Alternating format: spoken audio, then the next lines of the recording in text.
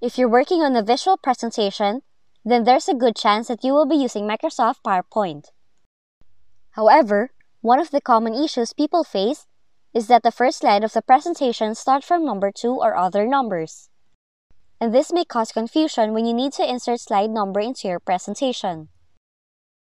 Luckily, here's a quick solution that you can do to change the starting slide number.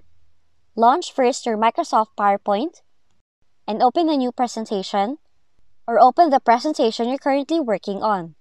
Then, click on the Design tab and in the Customize group, select Slide Size and then click Custom Slide Size.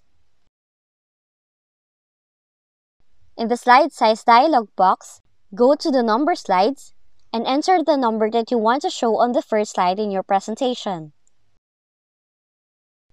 Then select OK.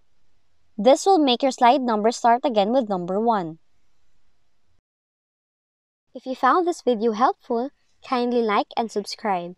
You may also click and turn on the notification bell so you can be notified from whenever we release new videos.